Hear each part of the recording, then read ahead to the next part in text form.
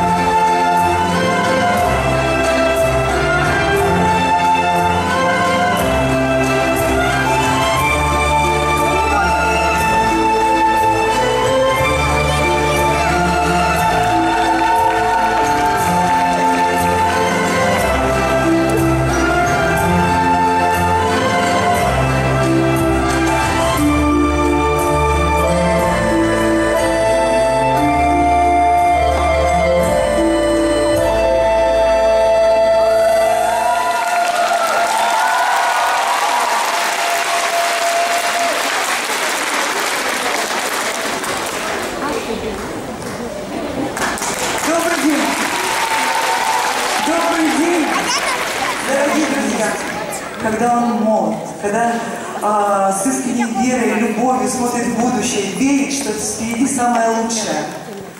То есть именно такими, какими вы сейчас стоите перед зрителями.